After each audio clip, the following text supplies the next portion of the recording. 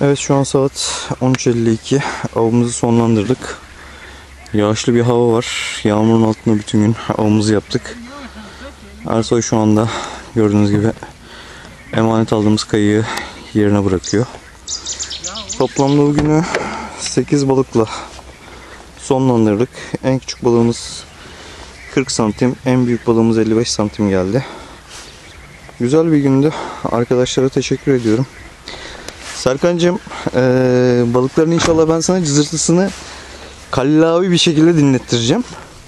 Videonun eee, videoyu tek parça olarak vereceğim ben sana. Artık ne yaparsın ne edersin bilmiyorum. Dün geldin bir tane balıkla geriye döndün. Bugün biz geldik ki bize o kadar söyledin. Gitmeyin balık yok dedin.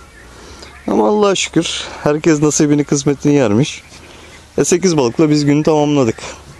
Geç kaldığımız halde. Geç kaldık. Bir de yani bugün eee Süleyman'cığım sabah biraz uyuyakaldığı için 8.30 civarında biz buradaydık.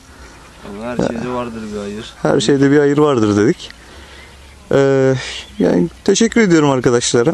Biz teşekkür ederiz. Güzel bir av oldu. Yağmurlu olmasına rağmen her şey güzeldi yani. Evet Ersoy'cum. Serkan'a söylemek istediğin bir şeyler var mı? Serkan'a çok teşekkür ediyorum bizi bugün buraya gönderdiği için. Bu balıklar da bize nasipmiş. Dün ona gizli yerlerimi söylemedim ama darılmasın. İnşallah bir dahaki sefere ben de gelir ve gizli yerlerimi öğrenir. İnşallah. Teşekkür ediyorum arkadaşlar. Güzel bir gündü. Ben teşekkür ediyorum. Evet.